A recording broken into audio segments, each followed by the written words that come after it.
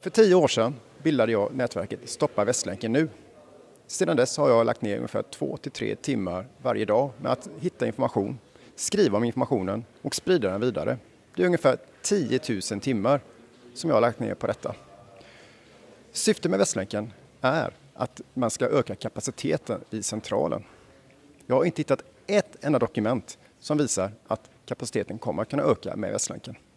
Tvärtom så har vi bara hittat information som säger att antingen blir kapaciteten på ett ungefär lika hög som idag eller lägre, inte mer. Sika, Statens institut för kommunikationsanalys, berättade redan 2006 att Västlänken var omodern. De kallar den för obsolet. Vi vill i Göteborg ha bra förbindelser med Bohusbanan, gärna dubbelspår. Vi vill ha en bra förbindelse till Norge, gärna med Oslo. Vi vill ha bra förbindelser med Stockholm via Västra stambanan, gärna fyrspår.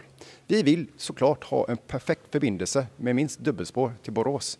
Vi vill ha fyrspår ner mot Kungsbacka så fler kan pendla upp till Göteborg. Allt detta vill vi. Allt detta klarar inte Västlänken. Just därför ska vi säga nej till Västlänken. Vi stoppar den nu.